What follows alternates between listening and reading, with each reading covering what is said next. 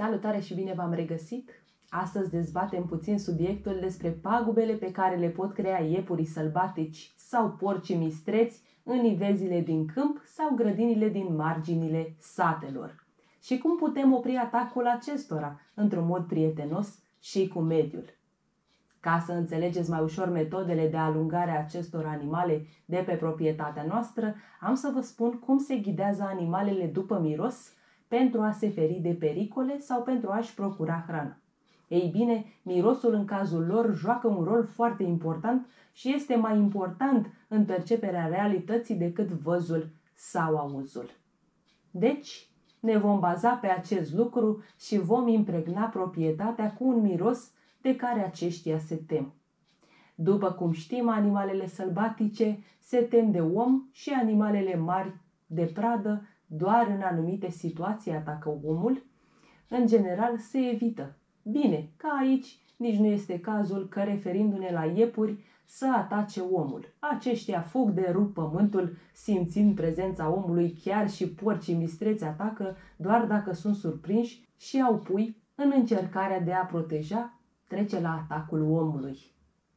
Ei bine, tot ce trebuie să facem este să ne impregnăm mirosul în zona pe care o dorim să o protejăm și am să vă spun și cum facem acest lucru. Este foarte simplu. Faceți niște săculeți din dres pe care îi umpleți cu păr uman sau dacă nu aveți atât de mult păr, puteți procura și de la frizerii. Iar în felul acesta mirosul uman rămâne mult timp în zona protejată iar pentru a mări acest efect repelent și al proteja de ploi, din sticle tăiați partea de sus cu dopul și puneți acești săculeți sub aceste capete de sticlă pentru a fi mai bine protejați și le atârnați la 20 de centimetri din loc în loc prin livada dumneavoastră. Poate vă întrebați de ce montăm aceste sticle prin grădină în uh, pomii noștri. Ei bine, este pentru a proteja pomii de rozătoare, și anume iepurii de câmp. Aici, după cum observați, suntem uh, în câmp deschis și am uh, montat la un 20-30 de centimetri de la sol această sticlă. În interior am uh, un ciorăpel cu păr uman, iar în felul acesta răspândim mirosul uman în grădinile noastre, în livezi, dacă sunt uh, în marginea satului sau în câmp deschis, iar uh, rozătoarele vor fugi. Deci așa puteți să faceți și dumneavoastră.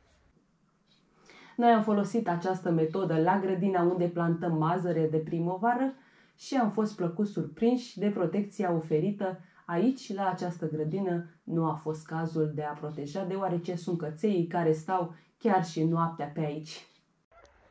Ia uitați aici, noi avem uh, protecție de căței. nu așa cățel? Nu vine niciun iepuraș aici, da? Nu-i lași. Bravo, băiat, bravo!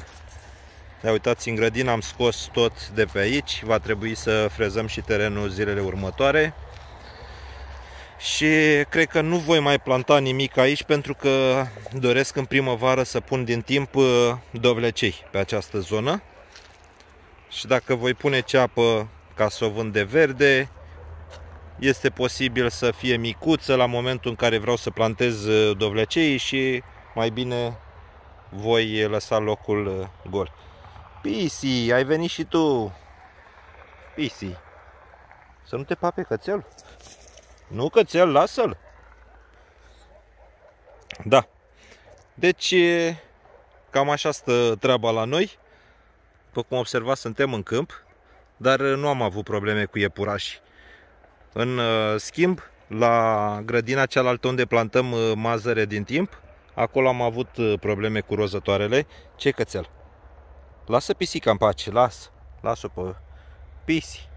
E pisia noastră. Da? Acolo am avut probleme cu rozătoarele și, după cum v-am spus, am folosit aceste metode care, într-adevăr, au dat rezultate foarte bune.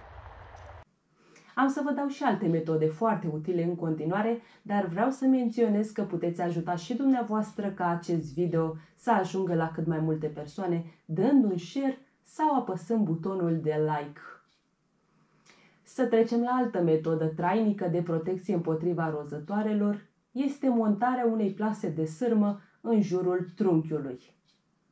Gardul ar trebui să aibă înălțimea adaptată pentru animalele vizate și se recomandă a fi montat chiar din anul plantării. Pentru a rezista de-a lungul anilor, marginile plasei ar trebui introduse în sol la o adâncime de circa 20 de cm și bine fixate pentru a împiedica pătrunderea iepurilor sau altor rozătoare de câmp. Atenție! Metodele prezentate nu au o importanță, ordinea prezentată, dar am început cu cele care le puteți face dumneavoastră acasă, deci ordinea prezentării nu constituie o importanță cum ar fi prima metodă prezentată, ar fi cea mai bună.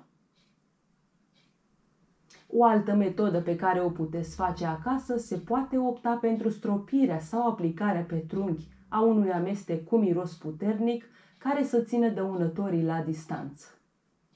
Acest amestec se poate prepara din lapte de var amestecat cu balecă sau var cu pământ galben și sânge de animal sacrificat.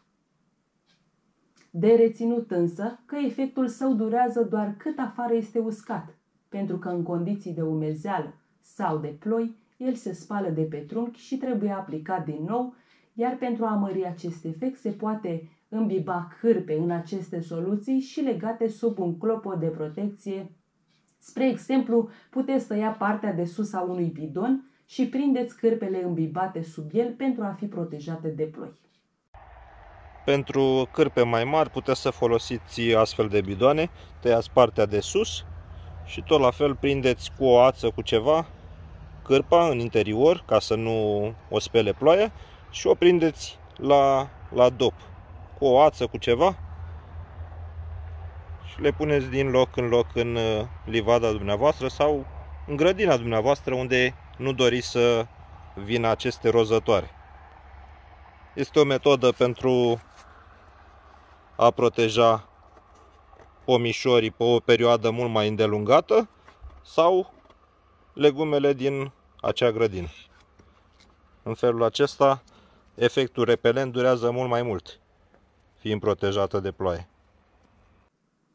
Pentru cei ce nu au timpul necesar pentru a face aceste produse, vă recomand să folosiți produsul Porky de la Sem Plus. Găsiți link către produs și în descrierea acestui videoclip și am o veste minunată.